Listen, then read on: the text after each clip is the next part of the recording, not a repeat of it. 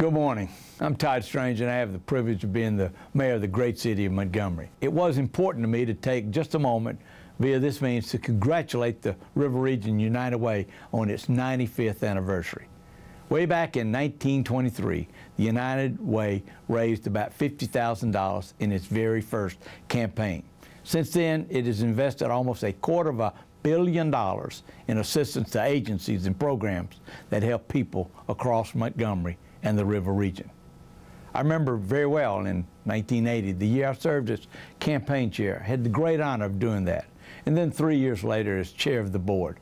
Looking back, we learned so much and we saw firsthand the needs of our community. And frankly, that's carried over to my last nine years of being the mayor.